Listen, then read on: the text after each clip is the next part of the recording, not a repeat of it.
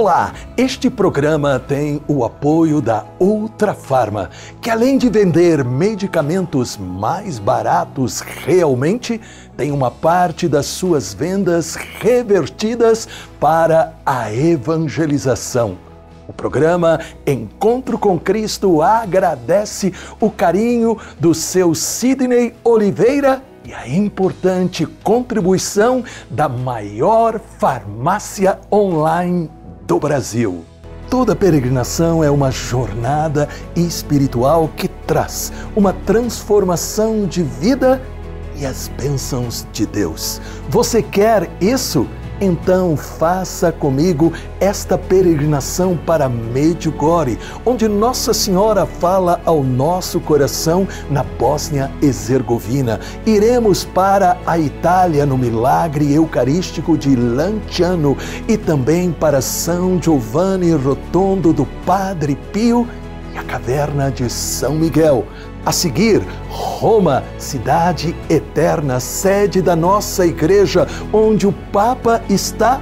E terminaremos em Portugal, em Fátima.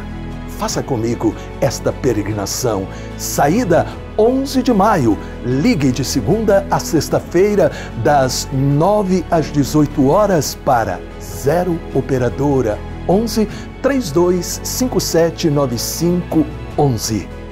Viaje comigo.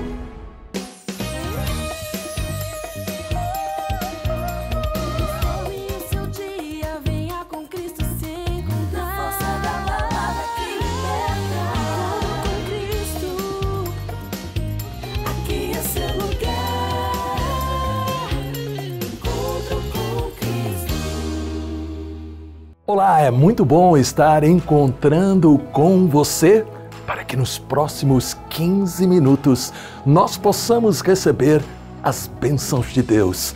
Prepare-se, existem milagres para você. São João Maria Vianney rezava: Ó oh Jesus, dai-me a ardente caridade de São José e nada mais restará a desejar sobre a terra. Peçamos a proteção de Deus com a intercessão de São Miguel.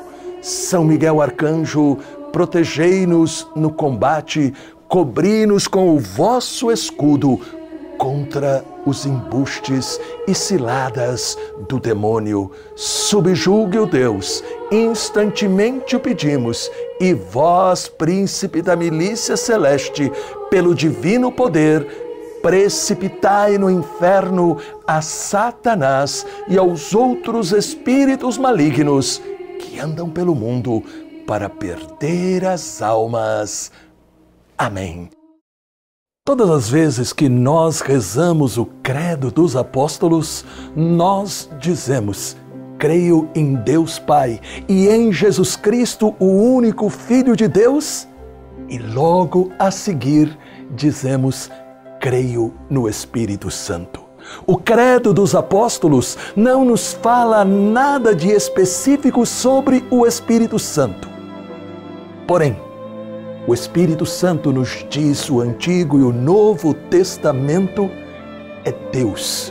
O Pai é Deus, o Filho é Deus e o Espírito Santo é Deus. A presença do Espírito Santo na Bíblia é tão forte que ele aparece no início da criação, aqui em Gênesis, no capítulo 1, versículo 2. A terra estava sem forma e vazia, as trevas cobriam o abismo e o Espírito de Deus pairava sobre as águas. E aqui nós temos a grande missão do Espírito Santo, onde existe caos, trevas, aonde existe o afastamento de Deus, ele se manifesta, porque ele é a ação de Deus que transforma tudo. O Espírito Santo é aquele que ilumina nossa mente para que nós possamos experimentar Deus e o seu amor. O Espírito Santo é aquele que torna Jesus real em nosso coração. nos convence do pecado e nos dá o arrependimento. Traz o consolo que nós necessitamos, nos dá a fé para tomar posse das promessas de Jesus.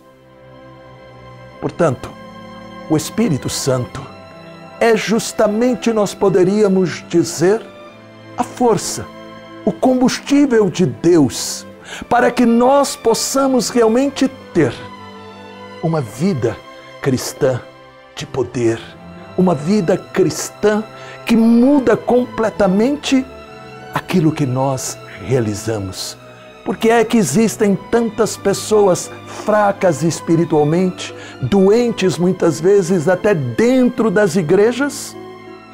Por falta da experiência real do Espírito Santo. É o Espírito Santo que continua a obra de Jesus em nossa vida.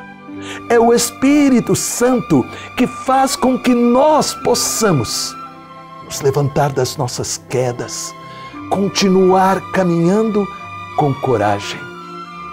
É por isso que nós temos que pedir todos os dias: Espírito Santo, vem me recriar. Espírito Santo, vem me dar a sua força. Espírito Santo, ilumina-me, guia-me, para que eu possa fazer a vontade de Deus. Coloque a mão no seu peito. Eu quero orar por você neste momento. Espírito Santo, formastes o mundo e soprastes nova vida em nossos corações. Ajuda-nos a seguir as suas inspirações para amar e servir Jesus. Espírito Santo, dai-nos a fé que produz milagres. Amém. Creia, o Espírito Santo está agindo em sua vida porque você o recebeu no seu santo batismo. Aqui é seu lugar, com. Estamos nos dias finais do mês e estamos precisando da sua ajuda para completar o nosso 100%. Você tem sido tocado pela mensagem de Jesus no nosso programa? Então eu estendo a minha mão para você. Ajude-me.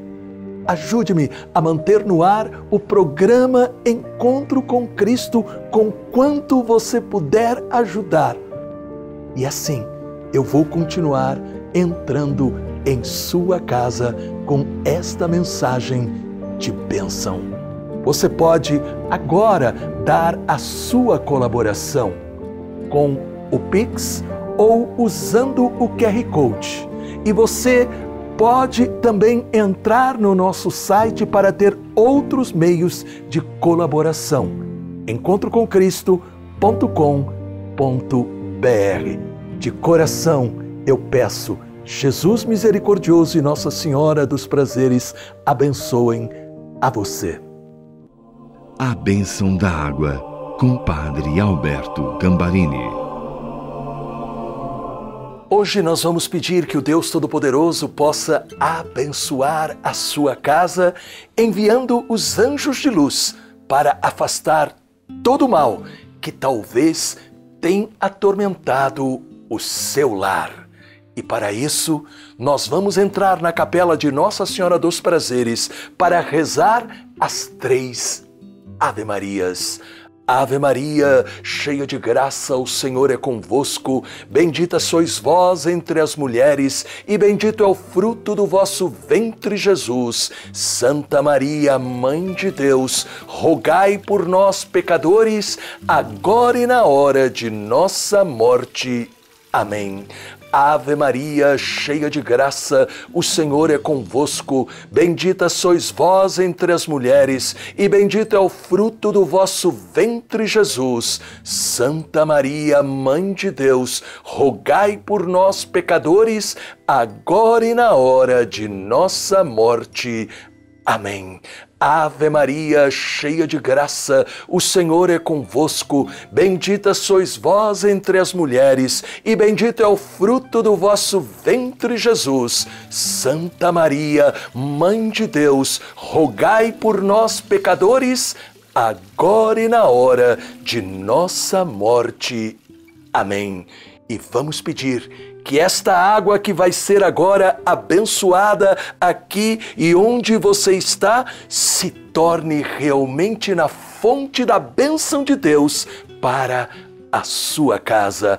Deus maravilhoso e Deus bendito, abençoe e santifica esta água para que possa afastar de todos os lares toda a influência do demônio, as doenças, o desemprego, as brigas e os vícios, trazendo, Senhor, a tua bênção e também os teus milagres. Amém. Tome um pouco desta água que o Senhor abençoou.